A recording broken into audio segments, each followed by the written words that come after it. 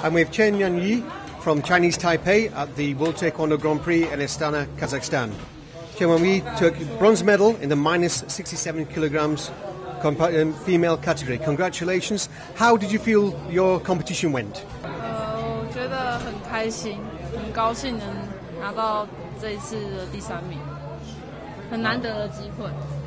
She says she's very happy to have the achievement, get the bronze medals, but uh, last in Suzhou GP she mixed it, but uh, she's looking forward upgrade to next step for the final.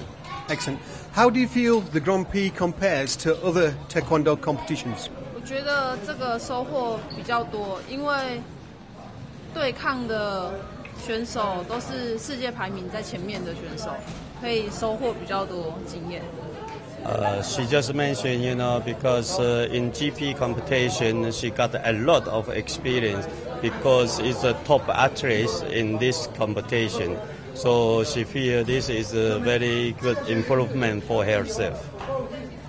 What changes may you make before you compete in the next Grand Prix? 信心要再更加强， 然后缺点那些都要再改进。